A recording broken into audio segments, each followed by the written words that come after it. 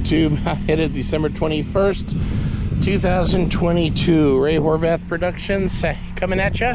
It's been a long time since I put a video up, guys. My apologies. Um, just crazy, crazy, crazy at work, but that's okay. That is a good thing. Um, had a major issue that I'm going to tell you guys about. But before I do that, I'm going to uh, tell you to do a couple things first please hit that like and subscribe button. It really helps the youtube algorithm to help the channel out. It doesn't cost you guys anything. Um, just go ahead and do that for me. I would highly appreciate it. Um, the major issue um, well let me touch on the miles first. We about 12,400 as we speak right now. So up there in miles but still running uh, good except for the major issue that I just had repaired. And yes, it's a little windy out here, so I do apologize for that. and my, my throat is a little scratchy, so I apologize for that as well. Got Mrs. Horvath, Ray Horvath Productions with me in there. She's, of course, on her phone and um, basically ignores me when I do my videos, but that's fine. So, a little over 12,400 miles.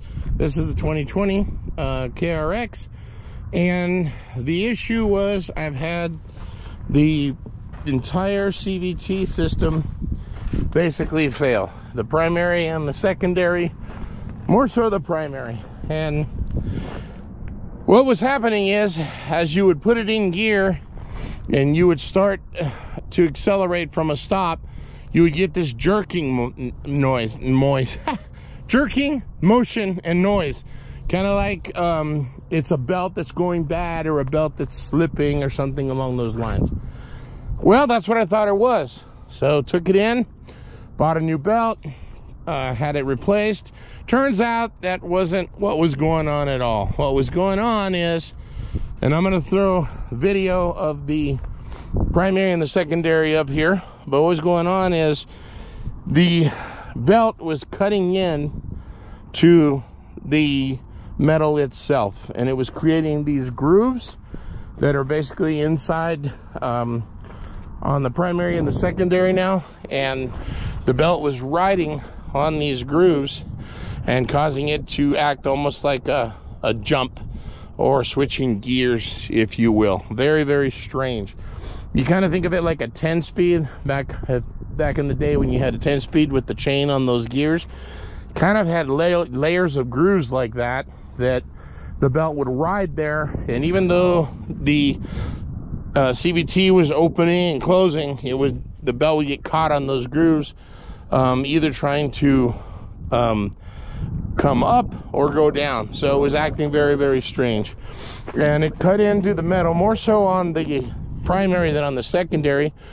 But since you have it apart there's no reason not to replace both of them, which I did. Um, and I will tell you guys something, it is not cheap. The parts you're looking at almost uh, $2,100. There is no aftermarket solution at this point. And with labor, um, big shout out to Josh at Throat Punch Performance. Love those guys. Um, came out to about 2,400 bucks. But that's the thing um, that I couldn't understand. Why would this happen?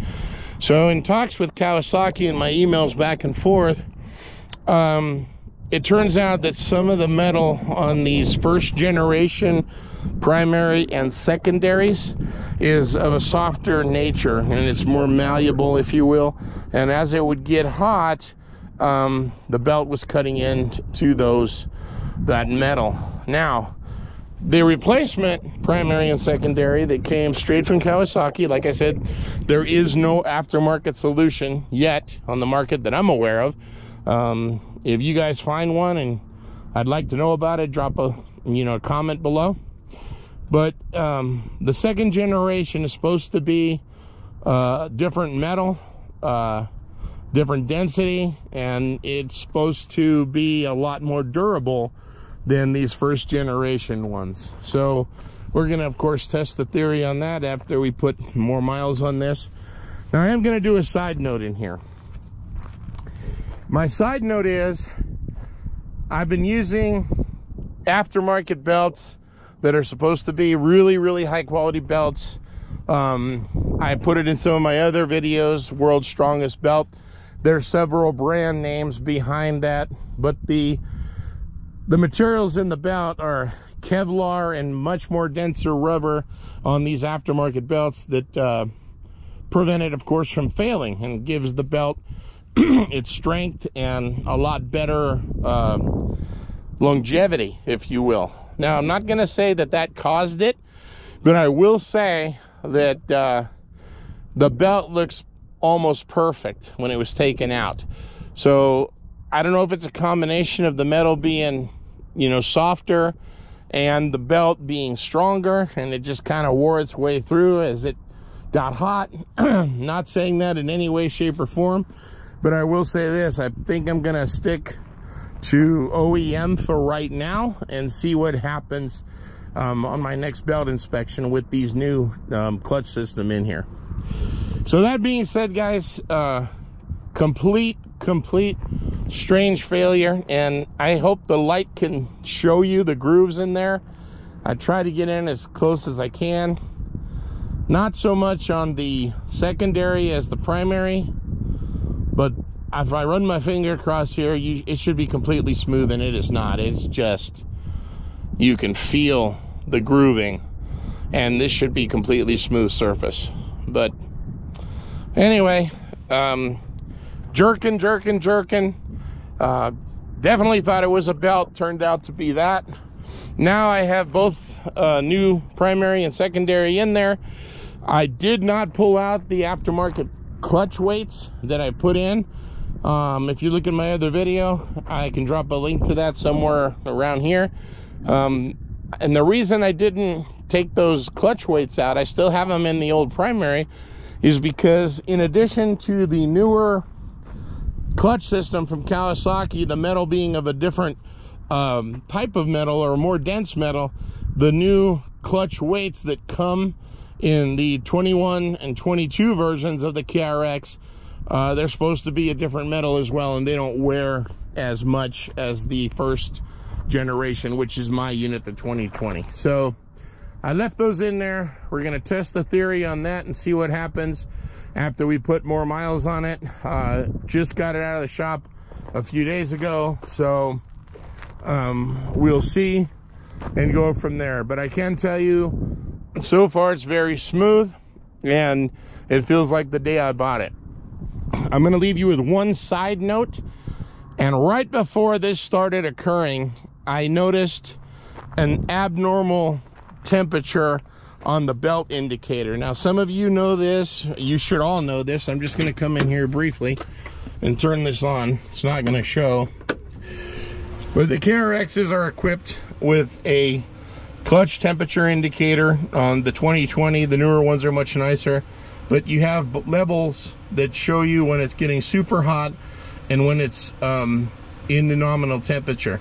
I will say this, before I had this issue, even in cold weather, I was getting up to four bars and it had never done that before.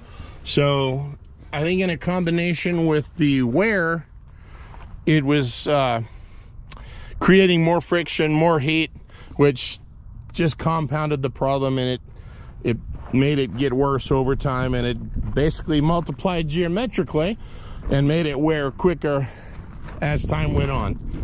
But that's a side note, so watch your temperature indicators, guys, really close. If you own one of these, pay attention to that, especially if it's been, you're used to it hanging around one or two bars and the weather's not hot and all of a sudden you see it getting up into that, the extra bar, extra two bars wasn't normal. And that happened just as I started having this issue. So I'll leave you with that. Uh, as always, I appreciate everybody. Please hit like and subscribe. I hope everybody has a Merry Christmas and Happy New Year, and thank you very much for watching.